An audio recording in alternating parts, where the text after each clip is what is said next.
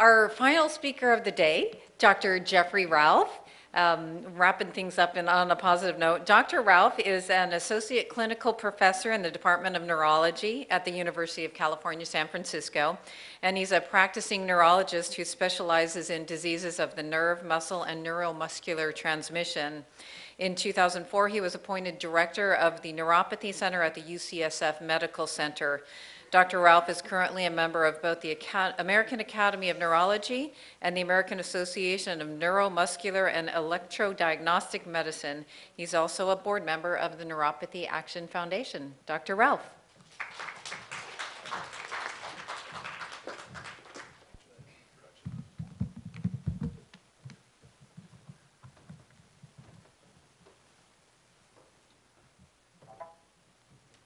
Thanks very much for that very nice introduction, and thank you, Dominic, for scheduling me right after a celebrity personal trainer. I know it's must be very intimidating for him to share the stage with these very attractive neurologists and physicians. Um, but anyway, he handled it pretty well. So I'm going to talk to you uh, today about unusual neuropathies. Um, and I'm just going to sort of jump right into a case. So um, this is a man who presents with burning pain. He's 65, uh, he's an engineer, and he basically has burning sensations in his feet. He has good strength and his balance is okay, but the feet really drive him crazy. The feet often, and I understand this is probably a little hard for you to read up here, so I'll just describe the case. His feet are often sort of pink and red, uh, and so he's seen in a, on examination, his feet are actually red when you look at them. His strength is very good. And the main finding on the exam is that if you test with a, a safety pin and you go down below the ankle, uh, he basically jumps away from you. He has hyperalgesia in his feet. Um, so he's a man with burning feet. So let me ask you, does this sort of presentation strike you as a common or uncommon neuropathy type?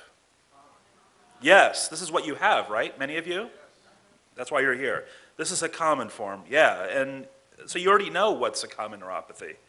Um, so the usual neuropathy is a neuropathy that's usually symmetric, it's painful, it's sensory predominant, so it's unusual for patients to come in with foot drops uh, with the most common forms of neuropathy, and it's very slowly progressive. And, um, and, and basically, the, the good news about it is that uh, there's not much in the way of motor disabilities, so people can get around, and, and many of you, as, as Jesse said, you know, you're able to get to this conference, and that's great, but you sort of live in this sort of neuropathy purgatory, where you can get around, but you're sort of dealing with chronic pain, and uh, unfortunately, it's a very difficult problem to reverse and treat uh, with all the treatments that we have. Um, so that's the common neuropathy. The uh, unusual neuropathies tend to be more patchy. They often have weakness as a major feature, so they come in with foot drop, um, and they can have a much more rapid onset. Um, if untreated, these neuropathies can be very bad. They can be life-threatening. Um, but the good side of them is that they tend to be more treatable. So the bottom here, this is Bill Murray playing a, a neurologist in a movie. Um, so many of you have the common presentation of neuropathy, but, but often the cause is not clear. How many here, how many people here have an idiopathic or cryptogenic neuropathy?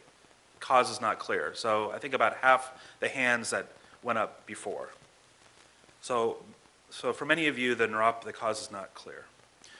So um, most of you don't have the unusual neuropathy, so why am I talking about it? Well, I'm talking about it because they are, um, they can be very severe, as I said a second ago um, but they're also more treatable. So it's important to identify these folks. And many of you go to uh, neuropathy support meet, group meetings. How many of you participate in group meetings or are leaders in groups? So a number of hands uh, went up.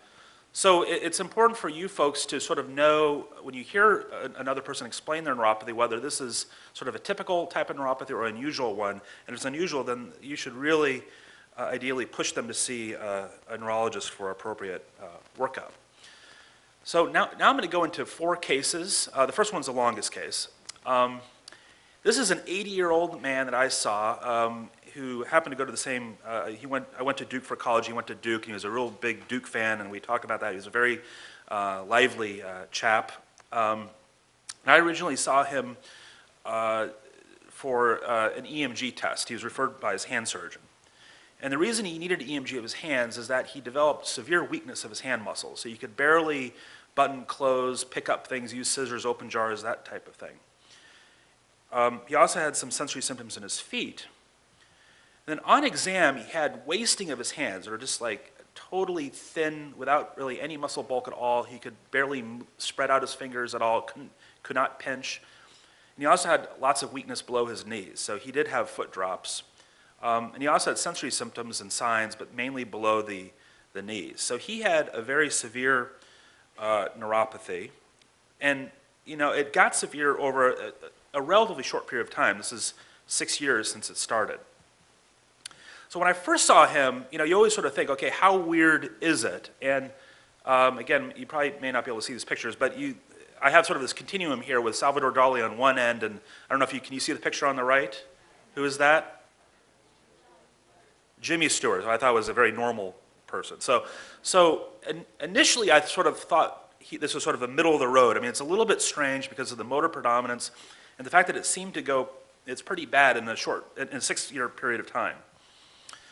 So I did some electrical studies, and this is definitely not going to be, unfortunately, the print is going to be too small, so I'll read this out. So uh, the electrical studies confirmed that he had a very bad polyneuropathy, so that's a generalized neuropathy. And on top of that, he had carpal tunnel syndrome, or median neuropathies at the wrist, and also damage of the ulnar nerve, which is the nerve you hit when you hit your funny bone at the elbow. So you had a combination of a very bad polyneuropathy with sort of entrapment neuropathies.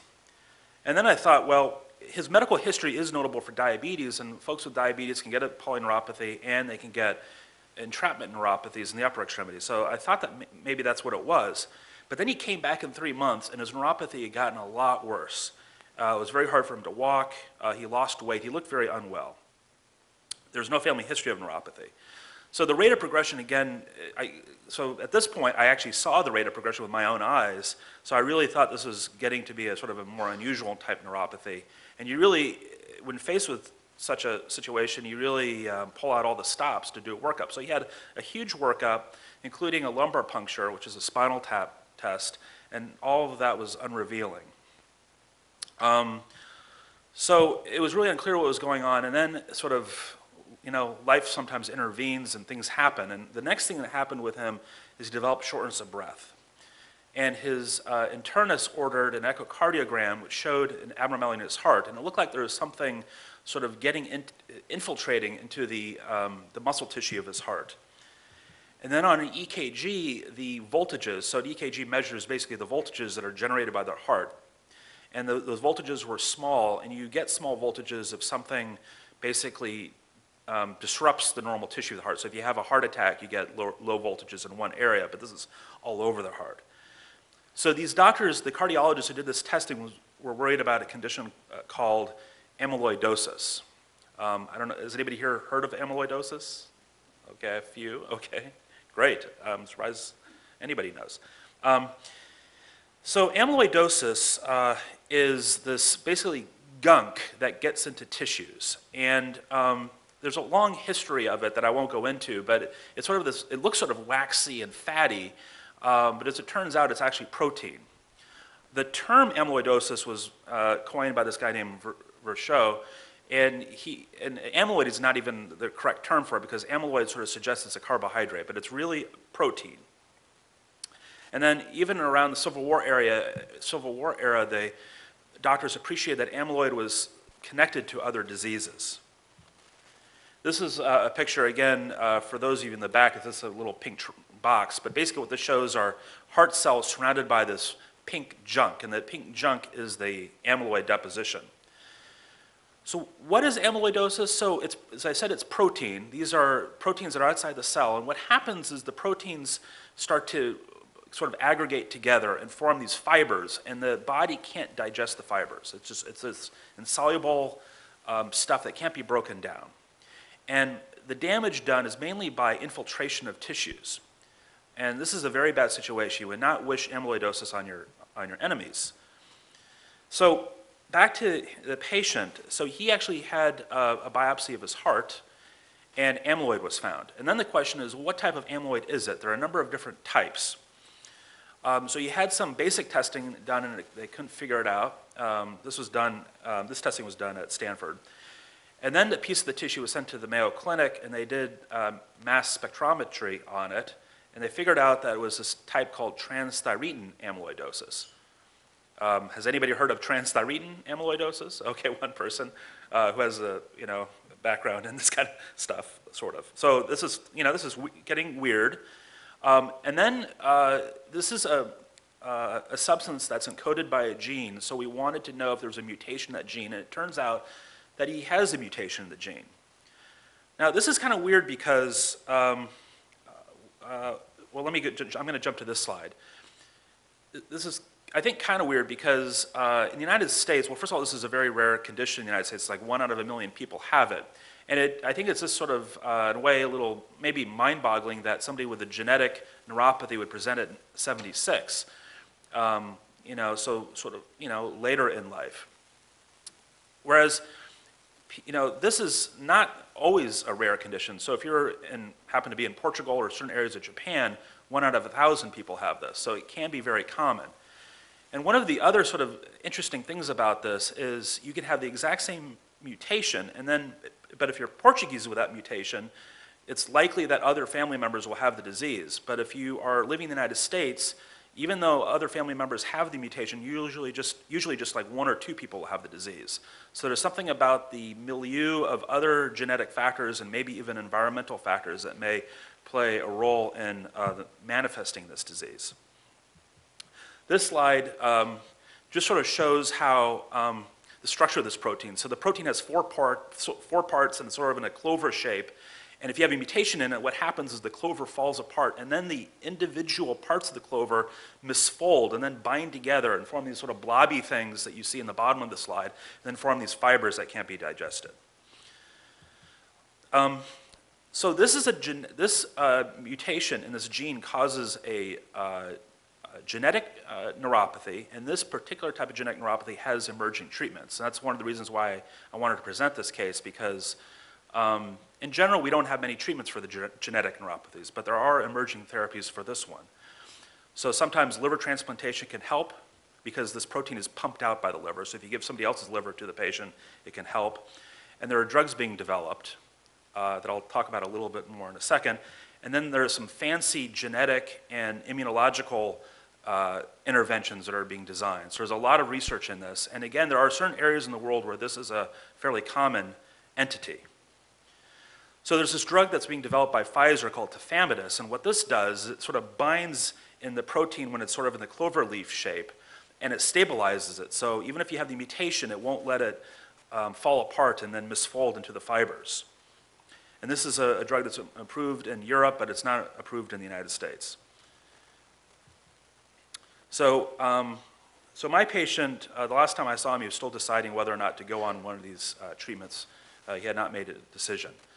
Now he has a daughter. Uh, his daughter is uh, in her, she's in her 40s, I believe, and uh, so she has a 50% chance of getting the mutation. Um, so if you were her, would you? Do you think you would get genetic testing done? Okay, of course, I guess everybody says yes. Um, the reason why you may not is that, again, even though the mutation sort of tracks through families, usually only one person in the family has a disease. So, I mean, would you want to know that you have something when it may, you may not have the manifestations of the disease? Um, but I think many of you feel yes. And I think the reason you're saying yes is that there are some emerging therapies. So, so I think I would answer yes too. So it turns out that she did have the mutation, and there's a discussion about whether or not she should go on a treatment to help um, prevent the manifestations of the disease. But the, those treatments have costs and they can have side effects, so is it worth going on something when you don't really know if you're going to get the disease anyway? So it's a very, it's very tricky. So for this first uh, case, the key points again are that there are emerging treatments for some of the genetic neuropathies, including this one. Um, in the old days, if somebody had a hereditary neuropathy, we said, well, sorry, you know, um, we can't do anything, but now we can in certain cases. Uh, and then there's this general principle that misfolded proteins can um, sometimes cause disease, and this is a major factor in the major neurodegenerative diseases like Alzheimer's disease and Parkinson's disease, is the problems with cells handling sort of stuff within the cell and, and processing it correctly and sort of throwing out the trash when the trash needs to go out. Um, and then the, the treatment for this type of neuropathy, neuropathy sort of highlights that if you can stabilize proteins in a certain fashion, that you may prevent the development of, of disease. Okay, so now we're going to move into a uh, case that's a little bit uh, less serious. So this is a young uh, German woman that I saw who came in with numb patches. So she's 33 years old and uh, with really no medical problems, a very healthy, fit uh, woman. And uh, she came in because she noticed that uh, she had a numb, painful patch on the outside part of her left thigh. And she also had some uh, numbness in her right cheek. And the, the numbness in the left thigh came about after she was at an attending an educational conference, sort of like this one, and walking around and doing lots of stuff, and then she sort of developed this numb patch. And then after questioning, she said, Well, yeah, I've had these other numb patches in my body, including in the lumbar area, and then she had one on the opposite thigh, too. And curiously enough, um, uh, oh, I, I think I'm going to yeah, get, on, get to it on this slide. So her mother also has had the, the presence of numb patches. Um, and when I saw her, her exam was really only notable for these sort of discrete numb patches, but her strength was normal, vibration sensation was normal too, and things like uh, vibration, joint position sensation, which sort of tests the deeper sensory fibers. So it seems like just the skin fibers are affected. And then she called again saying uh, that she has another numb patch. So she's sort of accruing these numb patches. Has anybody heard anything like this? Yep. Something like that? Mm-hmm.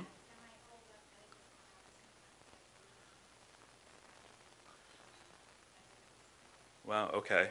So you may have something sort of akin to this. So um, this, the story of this type of neuropathy is interwoven with a guy named Robert Wartenberg, who was a neurologist at UCSF. And uh, he uh, was born a couple centuries back uh, in Lithuania, and then he did his training in uh, Germany. Uh, and he was a Rockefeller scholar. He did training in England and in the United States. And he was one of the most famous neurologists, at least in my field, uh, in, the last, in the last century. Um, and he uh, was a prominent neurologist in Germany, but unfortunately he was also Jewish.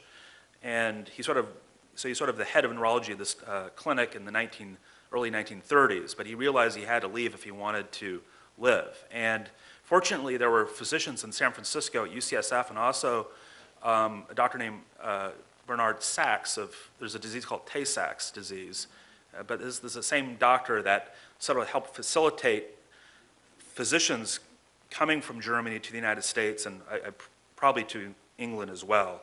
So they brought Wartenberg out here, uh, really saving his life. But he was not really happy because he went from being the top big cheese in Germany to like low on the totem pole at UCSF, sort of like that's how I feel at UCSF. No. Um, but, it, but eventually he actually settled in. Initially he was sort of kind of a prima donna, like one of the former chairmen. You know, this is written down even, that he had this reputation for being a real hothead. Um, but very smart. He was fluent in many different languages. But he eventually settled down. He, he bought a house in San Francisco, and there's this like I, there's this picture you can't see very well, but it's him at his breakfast table with his wife, and for some reason he's wearing his white coat at breakfast, a very formal guy with his father-in-law. And then he has his dash hound. He loved his dash hound. But he was, he was a very famous uh, teacher at UCSF. So Wartenberg uh, described patients with this thing called migrant sensory neuritis. And uh, basically it's a condition in which you get this recurrent, well, what he described, what he said was it's mononeuritic affection changes place and at different times involves different non-contiguous nerves. So you're basically picking off little sensory nerves. And it's recurrent, intermittent, remittent, it's a vagrant neuritis. And neuritis means sort of an inflammatory nerve problem.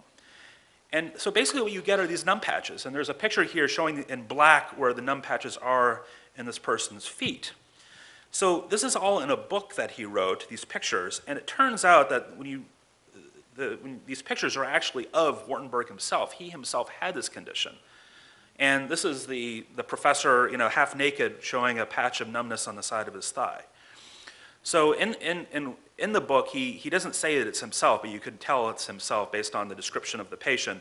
He, he sort of outlines how he accrued these, these patches over time. And, and sometimes the patches would fade and then come back, sometimes in the exact same location or new locations. but there's never any motor disability. So this is sort of uh, an unusual but benign type of neuropathy where you get these numb patches. So this condition answers a question I think when you're a, particularly a trainee in neurology, you wonder. You wonder, is there such a thing as a multifocal pure sensory polyneuropathy? Because you have learned, you learned earlier today about a, a multifocal motor neuropathy, but is there sort of a sensory equivalent, sort of? Um, and the answer is yes, you can have that. It's called a migrant sensory neuritis. Um, now, this kind of presentation can sometimes be represent a serious problem, but usually not. And if you do blood tests and testing, it's usually um, it's unrevealing if they really have this, if they fit this clinical pattern well. Um, it has a benign clinical course. So the main teaching point for case number two is that not all unusual neuropathies are dangerous, after all. Okay, so um, how, how am I doing on time? About 10 minutes, Dominic? Really, yeah, the treatment is not very well established. Even the, the pathology is not very well established e- either. I mean, so lots of, for lots of conditions, we do nerve biopsies, but we recognize it, that it's benign, so usually nerve biopsies are not done, so we don't really know exactly what's going on pathologically. In terms of treatment, um, some patients are treated with steroids, um, but uh, there really isn't like a known effective treatment for that condition. Usually patients are told that this is a benign condition and you're just going to have to, um, well, I mean, it's not very nice, but you sort of tell them to sort of, you know, live with the, these numb patches. And it's, a lot of the treatments are probably more dangerous than the underlying condition. Okay, so moving uh, along, case number three. Um, so this case, I, am sure this type of case was presented earlier today, so this is going to test your ability to remember, um, remember uh, memory and recall here. So this is Tom. Tom has had a neuropathy for a long period of time. It goes back to the early 1980s. He first had some problems with limb fatigue, with biking and running, and you know had some problems. Then he developed a problem where he couldn't lift up the fingers of his right hand, and he was diagnosed with a radial neuropathy, which is the nerve that does that. And he actually had a surgery to sort of decompress the nerve. Didn't help him, because that wasn't really the problem. And then he developed progressive weakness. He developed uh, then a left foot drop, then his left wrist sort of hung down, and then he developed a right foot drop with no sensory symptoms. And he was uh, put on a bunch of treatments, including prednisone and Imuran and all sorts of things, and he's given a number of different diagnoses, um, including uh, motor neuropathy. So he was he tried in 1992 and twice, just twice, IVIG. It didn't. He didn't really. He didn't notice a clear benefit. And as a matter of fact, after those treatments, but it was many months after, he had a very severe sort of uh, progression in his neuropathy, and he thought that the IVIG actually caused the downturn. So he has not re- received any treatment since then. And when I saw him, it's, he's, it's a quite startling picture because this guy, he's, he's, um, he goes to work, he's, uh, he, he's not disabled by it, but he has lots of limitations. Um, there's a slide here that shows his strength exam in number form. And again, I know you can't really read this, but there are a lot of zeros on this table. And zero means no movement at all. It's not even a flicker of movement. And he basically can't move his hands at all. He cannot move really much of anything below his knees. And if you were to look at him, you would think, you would think he's a, a patient with ALS or Lou Gehrig's disease. That's what he looks like. Um, he doesn't have any reflexes, but his sen- sensory exam is normal, and he has this sort of, uh, it's called a high stepping gait, where he has to lift his legs up very high to clear the drop foot. Um, so he looks sort of like an ALS patient, but if you actually pay attention to his exam, it, it's as if he has damage to the motor pathways. And, and I, in the sort of diagram, there's a diagram here of the arm with the, the various nerves, and if you sort of uh, examine them very carefully, it's, it's, it's as if you damage the motor nerves at the points where I have the little arrows on this picture. Um, so it has a sort of multifocal uh, present, uh, it's a multifocal type motor neuropathy. And so what is this? I heard it, yeah. So this is, this is MMN. This is the most severe patient I have with MMN.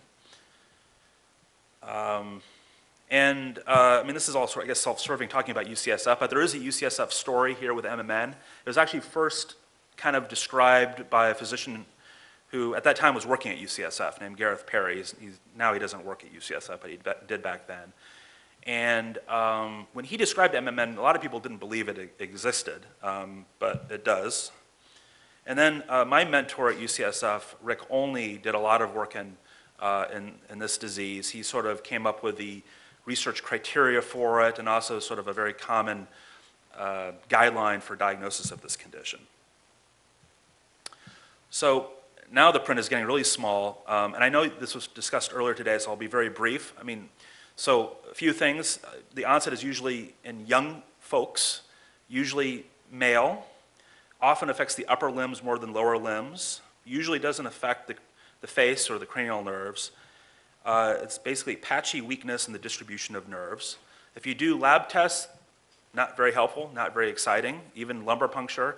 The one test that can, can come back positive is a GM1 antibody. Um, does anybody here be, besides Dominic have MMN? Because somebody, no, okay. Because about 50% of people have the, the antibody. And then the, the, electri- the electrical studies are very helpful. They show this thing called conduction block. The clinical course can be one of sort of the sort of chronic decline, or else it can be the stepwise decline, as in uh, this patient. And you get these, and I understand this is like putting up a like a Chinese character up here, but this is this is uh, the results of uh, nerve conduction studies, and there's this for an EMG. This is a really cool thing where you get a good response when you stimulate close to your recording site, and when you move up, you lose that response, and that's because the impulses are being blocked by the by the area where it's being the site of inflammation. And so basically, the nerves are put into a zombie state where they're still alive, but they can't conduct. And the, the, fact, and the fact that you could have a nerve in this zombie state for even you know, months or even years at a time is uh, kind of intellectually uh, interesting. So sometimes making the diagnosis of this is easy, but sometimes it's tough. So on the, on the slide now is a young man, he's like about 18 with atrophied hands. So is this multifocal motor neuropathy? Well, no, he has something else. It's called Hirayama disease, which is a problem really in the anterior horn cells. It's sort of like ALS, but very benign. It doesn't spread, normal lifespan. And unless you knew that such a thing called Hirayama disease exists, it can be, you know, it can be a tricky thing. And so sometimes figuring out whether somebody has MMN or, or a type of motor neuron disease can be tricky. And sometimes you have to just give a trial of the treatment, which is IVIG, uh, which has been shown to be effective uh, with multiple studies. Um, there are other treatments, but IVIG is sort of the, the mainstay treatment. And most people need ongoing treatment. So in other forms of uh, immune-mediated neuropathies, you can treat for a while and usually wean people off, but unfortunately for this condition, it's usually, usually lifelong uh, treatment. So um, this is an acquired autoimmune problem that's treatable. And again, I think it's a very interesting entity for neurologists because of the fact that it's pure motor. And so much of what we see in practice is sensory. So just, just to know that there can be a pure motor type is kind of intellectually, uh, I think, interesting. So this is the last case. Um, I know I'm on, uh, running out of time here, but this will take about a minute, I think. So um, there's a patient, a 25-year-old technology worker. She's uh, Indian, uh, moved from India to the Bay Area.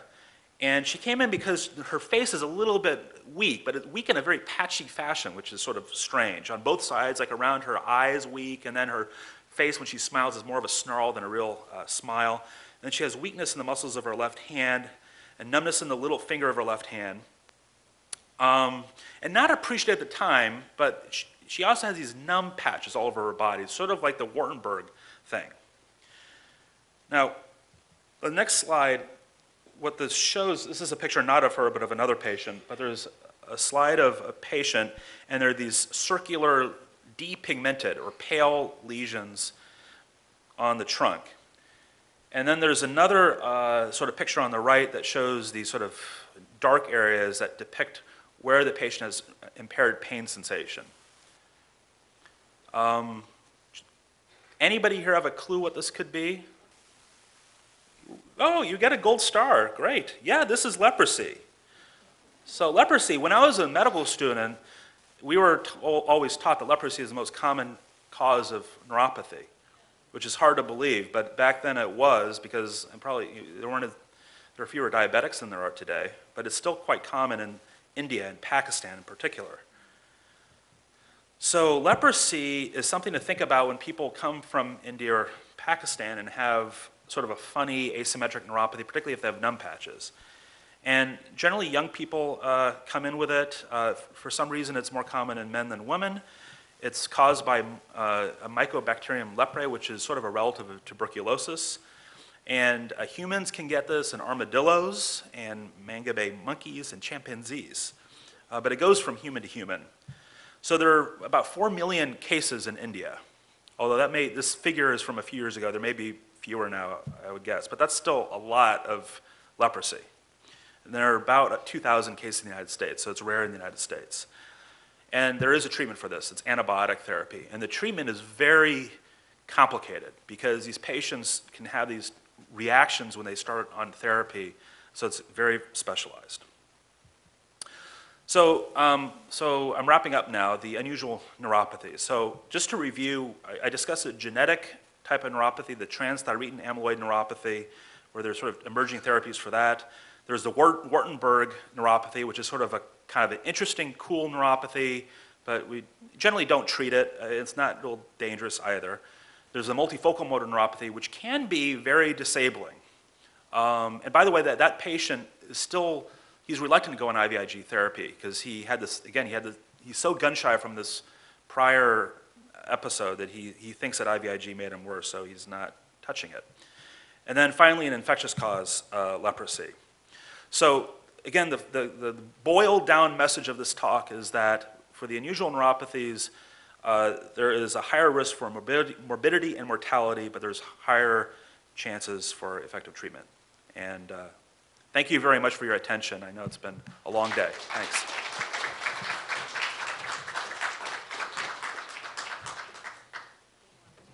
Any, maybe just, uh, maybe a few questions, and then if there are more, I'll ask, I'll answer them offline. Yes, Liz? For these other neuropathies, um, there's probably very little uh, that's approved since the clinical trial. How much trouble do you have in, in wanting to prescribe something, for example, IVIG? Yeah. How much trouble do patients have with getting it? Well, it varies a lot, and it varies a lot with the payer. Um, things have changed. So, for example, um, uh, one sort of second or third line treatment for the inflammatory neuropathies is Rituxan rituximab. And that used to be very difficult to get approved. And now it's quite easy for uh, most people, most insurers will pay for it. And I think they realize that it's quite effective, so it's actually cheaper to give them more effective treatment that's, you know, expensive up front, but over the long term saves money. Um, but there, there are all sorts of hurdles. So sometimes what happens is the, the treatment or the drug is approved, but then if it's an infusion product, the infusion services are not uh, approved. So, and the patient can't afford the, that. So, so it, it varies a lot. It's all over the board. Yeah? Someone has, um, I know a lot of the things we they haven't really talked that much about neuropathy, um, outside happening. Yes. Um, if someone has those kinds of symptoms, uh, should they also be seen by someone who is familiar with other kinds of neuropathy to rule them out? And how much is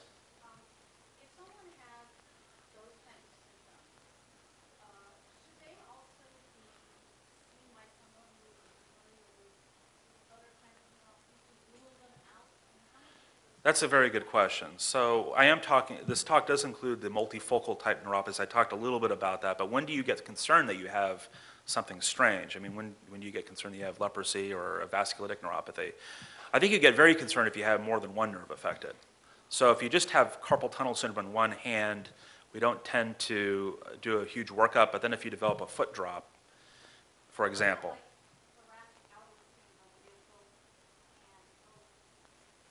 mhm. That? That would be unusual, yeah. So, so the question has to do about thoracic outlet syndrome, which is this entrapment neuropathy up in the chest area. And uh, it's a pretty uncommon problem, even on one side, so to have it on both sides is unusual. So I think, yeah, you would have to be um, that, that would have to be thought of carefully. And, and it's possible there could be a genetic factor at play behind it. Um, so usually thoracic outlet syndrome is caused by tissues pushing into the nerve, such as a fibrous band. But if, you, if somebody had it on both sides, I'd worry about something like hereditary neuropathy with liability to pressure palsies, which is a genetic condition. So that would be in the more, well, uh, that's the point of this talk. So I mean, that would be the unusual neuropathy. Maybe, what, last question, in the back.